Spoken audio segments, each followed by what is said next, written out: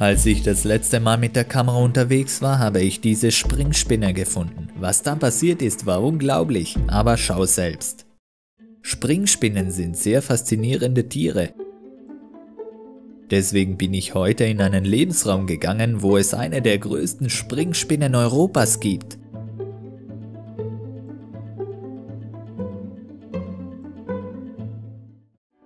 Diese Spinnen sieht man normalerweise hier auf diesen Steinen herumlaufen. Bis zu diesem Zeitpunkt habe ich allerdings nur diese haarige Raupe gefunden. Das ist eine Lymantria dispa.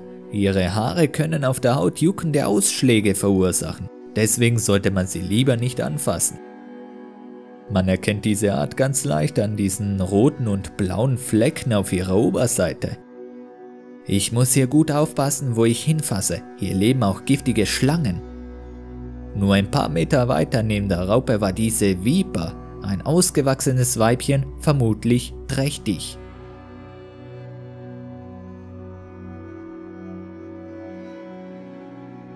Diese Schlange war das erste Highlight des Tages, das zweite kommt noch. Als ich meine Suche nach der Springspinne fortgesetzt habe, flog mir dieses Taubenschwänzchen über den Weg. Dieses Tier findet man auch in Deutschland. Hast du es schon mal gesehen? Es sieht ein bisschen wie ein Kolibri aus. Tatsächlich ist es aber ein Schmetterling.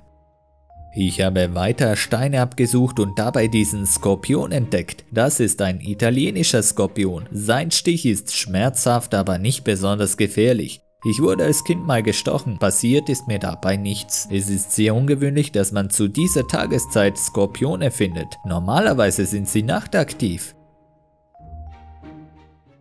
Nach längeren Herumsuchen habe ich dann endlich auch noch eine solche Springspinne gefunden. Das ist eine weibliche Phileus chrysops. Weißt du, wie man erkennt, dass es ein Weibchen ist? Ganz einfach, die Männchen sehen vollkommen anders aus. Diese Spinnen jagen hier nach Fliegen.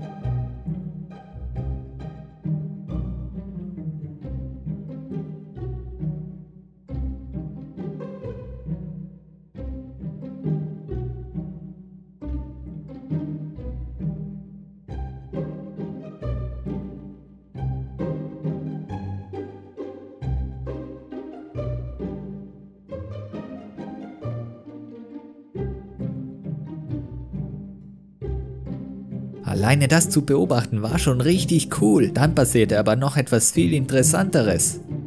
Plötzlich tauchte eine Ameise auf und versuchte der Spinne die Fliege zu entreißen. Schau mal, wie winzig die Ameise im Vergleich zur Spinne ist. Gegen ein so viel größeres Tier hat auch eine Ameise keine Chance. Die Spinne könnte die Ameise mit Leichtigkeit überwältigen. Doch sie entschließt sich, der Ameise aus dem Weg zu gehen. Eine andere europäische Spinne ist diese hier. Ich habe sie mir als Haustier zugelegt. Eines Tages verschwand sie spurlos. Was dann passiert ist, lässt vielen einen kalten Schauer über den Rücken laufen. Willst du wissen, was los war? Wenn ja, schau dir gerne das Video an, das ich dir hier im Abspann vorschlage. Danke fürs Zuschauen und bis zum nächsten Mal.